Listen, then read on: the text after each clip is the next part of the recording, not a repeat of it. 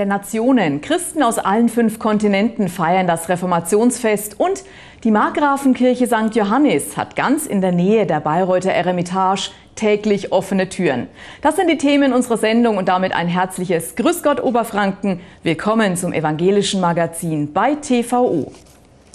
Reformation und die eine Welt. So lautet das Motto des auslaufenden Themenjahres der Lutherdekade.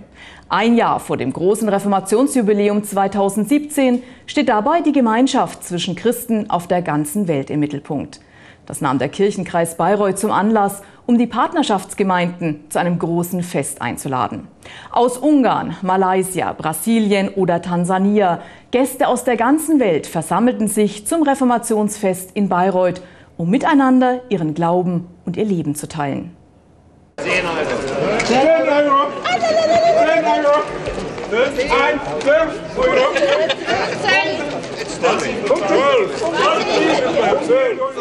Zum ersten, zum zweiten und zum dritten.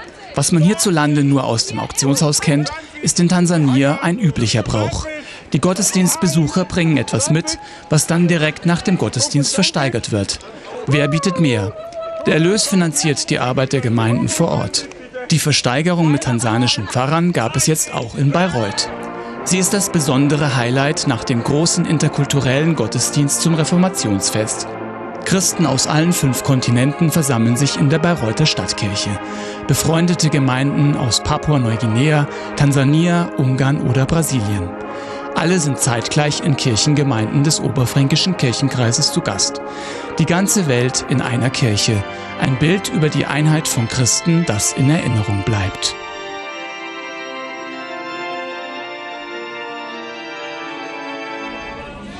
Das bedeutet sehr viel. Äh, und das ist das Wichtigste. Das Wichtigste dabei ist, dass äh, äh, durch unser Glaube an Jesus sind wir eins. Denn Gott hat Jesus als seinen Sohn zu uns, also in die Welt gesendet, damit wir alle also erlöst werden und ein werden. Als Zeichen der Verbundenheit über alle Grenzen steigt der evangelisch-lutherische Bischof Tansanias auf die Kanzel. Er betont die Einheit der Christen. Alle seien junge Reformatoren, die sich durch den Glauben jeden Tag erneuern lassen dürfen. Darum sei jeder Tag ein Reformationstag sich gegenseitig gute Worte zusprechen oder singen. Dafür gibt nicht nur der gemeinsame Gottesdienst viel Raum. Freundschaften werden beim Partnerschaftsfest gefestigt und Beziehungen gepflegt. Die erste Gruppe, die kam, war die aus Liberia. Und die brachte mir ein ganz kleines Geschenk und es war eine Flagge. Und auf der einen Seite war die liberianische Fahne und auf der anderen Seite die deutsche und in der Mitte die Lutherrose und in der Mitte das Kreuz. Das war so symbolhaft zu zeigen, wir kommen aus unterschiedlichen Richtungen, aber im Kreuz, im gekreuzigten, auferstandenen Jesus, da treffen wir uns. Gegen alle Verunsicherungen der Zeit zeigt das gemeinsame Teilen von Brot und Wein eine besondere Hoffnungsbotschaft. Eins in Christus, Glauben und Leben teilen, war der Leitspruch des großen interkulturellen Festes. Eine gute Gelegenheit, sich gegenseitig Mut zu machen.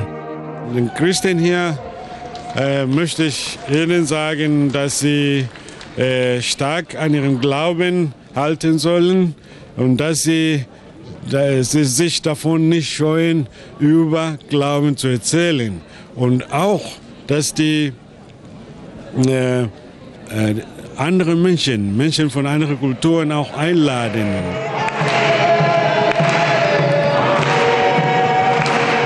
Vom gesungenen Kollektengebet aus Tansania bis zum gregorianischen Gesang. Ganz unterschiedliche Elemente finden Platz im Gottesdienst der Nationen. Kulturen schmelzen zusammen und bereichern sich gegenseitig. Der Besuch in Tansania hat viel in mir verändert. Ich habe da Christen wahrgenommen, die mit ganzem Ernst Christ sind Frauen kommen wunderschön gekleidet in, mit ihrer Bibel in der Hand zum Gottesdienst. Und wenn man dann sagt, wir predigen heute über ein Bibelwort aus dem Philipperbrief, dann schlagen sie in ihrer Bibel nach und finden den Philipperbrief. Manches können wir von den Tansaniern lernen. 40, Größe 40 ungefähr.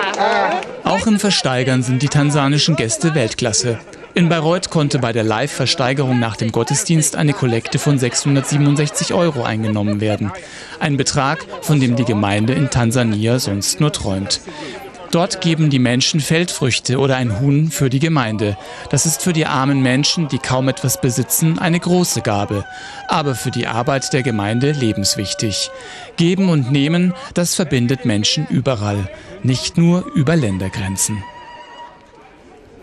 Der Erlös der Versteigerung in Bayreuth geht übrigens direkt an die medizinische Notversorgung Tansania. Dieses Projekt unterstützt in Tansania zwei Krankenhäuser.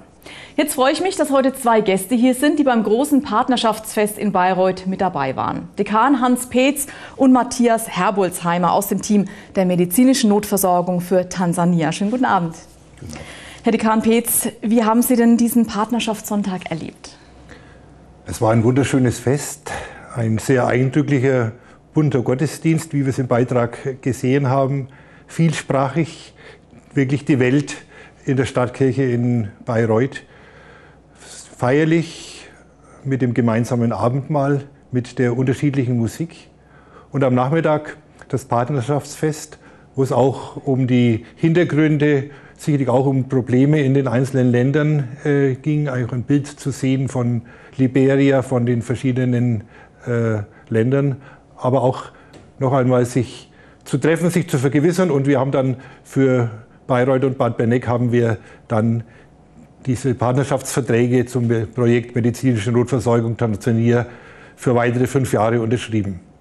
Herr Herbolzheimer, seit 20 Jahren schon engagieren Sie sich ehrenamtlich für die Partnerschaftsarbeit mit Tansania, davon 14 Jahre als Dekanatsmissionsbeauftragter. Was macht diese Arbeit für Sie so wertvoll?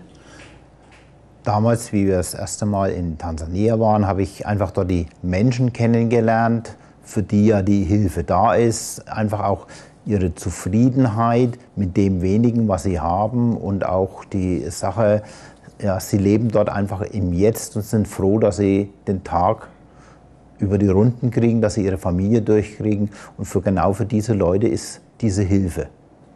Herr Dekan, Sie sind auch schon zweimal mit einer Delegation nach Tansania gereist. Würden Sie sagen, dass dieser Besuch Sie verändert hat?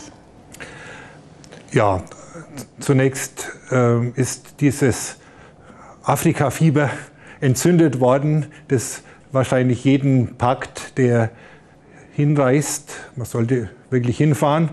Und äh, die Begeisterung, die Menschen, ihre Freundlichkeit, natürlich auch die schwierigen Situationen, da kann man nicht anders als sich dann für Afrika engagieren.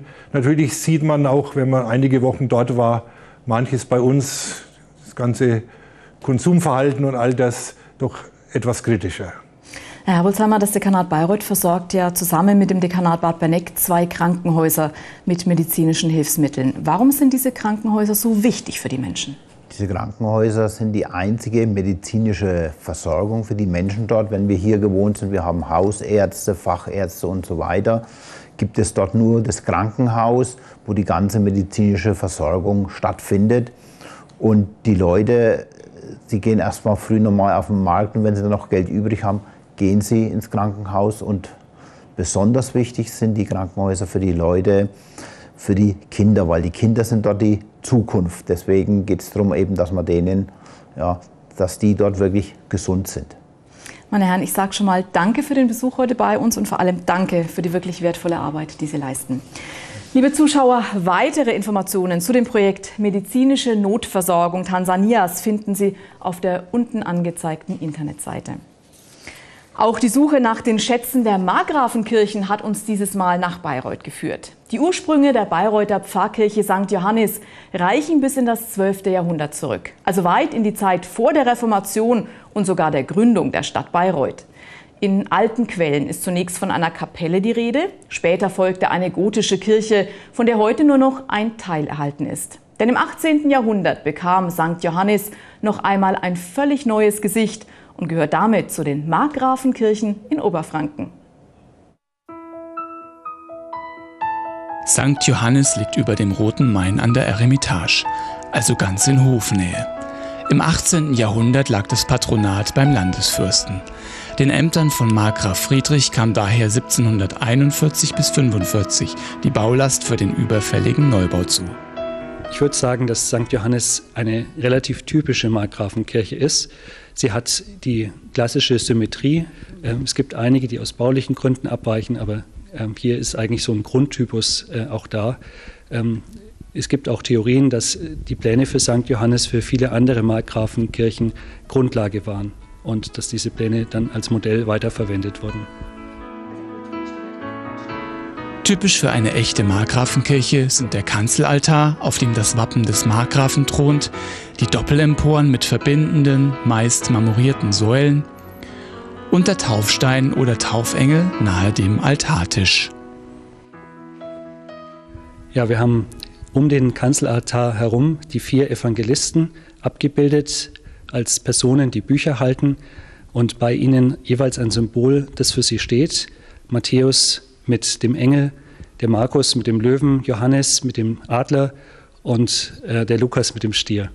Der Taufengel zeigt einen Engel, der eine Schale trägt, die Taufschale, in der das Wasser aufgefangen wird. Und die Schale ist, das ist die Besonderheit, wie eine Muschel gestaltet. Und die Muschel ist für mich so ein Symbol für den Lebensweg, den ein Mensch geht. Ähm, er beginnt seine Reise ja im geistlichen Sinne dann auch mit der Taufe. Und äh, insofern ist es ein schönes Symbol, der Engel, der natürlich beschützend und bewahrend äh, für das Kind oder den Menschen, der sich taufen lässt, hier ähm, als Symbol steht. Außergewöhnlich schön und besonders sind in St. Johannes auch die Ornamente, die auf den Emporen der Kirche zu sehen sind. Sehr viele Blumenornamente, das ist ganz typisch für den äh, evangelischen Barock. Äh, Blumen als äh, Sinnbild auch der Schöpfung. Die Landesgartenschau in Bayreuth ist jetzt gerade zu Ende gegangen und äh, da haben wir auch diese Blumenornamente einmal ganz bewusst in den Mittelpunkt unseres Flyers gerückt für die Kirche, weil äh, einfach diese schöne Blumenornamentik ja ein Lob auf die Schöpfung ist und zeigt, wie schön unsere Welt geschaffen ist. Das war live auf der Landesgartenschau zu sehen und ist hier durch die Ornamente auch nochmal äh, der Vergänglichkeit ein Stück weit entrissen. Lässt man den Blick dann noch weiter nach oben schweifen, kommt man zur Decke, die in rosa und blau gehalten ist, mit üppigen Verzierungen. Die Decke ist als Stuckdecke auch wieder mit Blumenornamenten geschmückt. Aber wir haben auch in der Mitte eine Besonderheit. Wir haben ein Dreieck mit dem Auge, dem allessehenden Auge, ein Symbol für Gott in seiner Dreieinigkeit, Vater, Sohn und Heiliger Geist. Und das sind noch immer nicht alle Höhepunkte von St. Johannes. Ganz versteckt hinter dem Kanzelaltar befindet sich nämlich noch ein wahrer Schatz, der Chorraum. Wir haben hier die einzigen gotischen Fresken im Stadtgebiet Bayreuth und äh, insofern sehr sehenswert.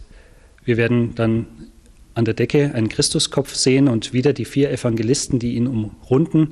Einer davon ist leider einer Baumaßnahme zum Opfer gefallen. Der Johannes fehlt. Der ist äh, durch einen Deckendurchbruch zerstört worden was der Faszination des Raumes in keinster Weise schadet. Die Pfarrkirche St. Johannes in Bayreuth ist übrigens eine offene Kirche. Das heißt, sie ist täglich für Besucher geöffnet.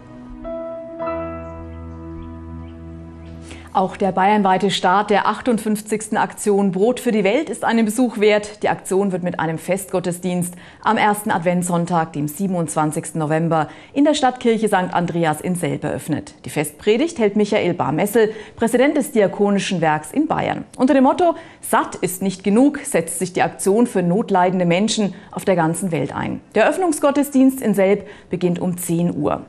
Pünktlich vor dem Reformationsjubiläum 2017 hat Regionalbischöfin Dorothea Greiner zusammen mit dem Bezirksheimatpfleger Günter Dippold das Buch Kleine Reformationsgeschichten, die Reformation im Kirchenkreis Bayreuth präsentiert.